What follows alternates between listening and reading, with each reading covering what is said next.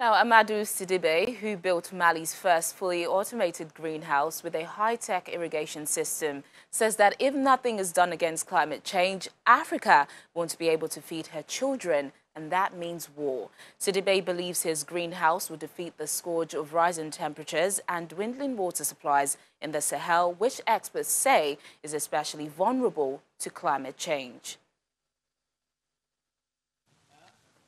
Strawberries grow at any time of the year in this fully automated greenhouse in Mali, where climate change is threatening around 80% of the population that derive their income from agriculture.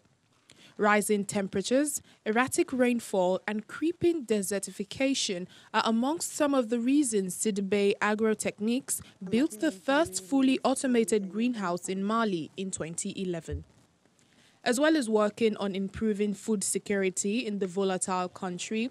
The company is creating jobs. The company had eight workers in 2011. Today, there are more than 30, most of them women. I remember when I first came here, it was something else. I was amazed with all these, and little by little, I got used to it. And well, I take care of the tomatoes from the planting all the way to the harvesting. The modern high-tech greenhouse controlled by artificial intelligence is the first of its type to be built in Mali. Sidibe Agrotechniques trains future farmers in agricultural innovation and shares their expertise with the workforce who have seen a net increase in the production and quality of their crops at home. The greenhouse is the brainchild of Malian architect Amadou Sidibe, who today is looking to expand his one hectare of land 40 kilometers from the capital, Bamako. In the time of our grandfathers, it used to rain and the cycles were regular.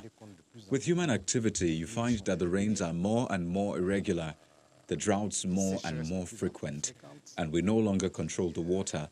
And if we no longer control the water, we don't control agriculture.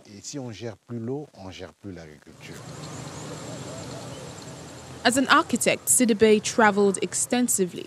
He got the idea of building a greenhouse after visiting Israel, where he said the climate was similar to that of Mali. Before that, he used to sell high tech drip feed irrigation systems for agriculture.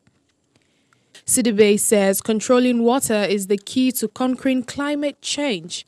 At first, Sidibe was frustrated by the government's lack of interest in his greenhouse project, which began with a 300 square meter plot of land. But thanks to a loan from the World Bank in 2013, he expanded his project to half a hectare. And in 2016, that turned into one hectare, 10,000 square meters. Today, he plans to build a 10 hectare greenhouse and is determined to prove that modern technology and AI agriculture is the key to overcoming the threat of climate change and food security in Mali.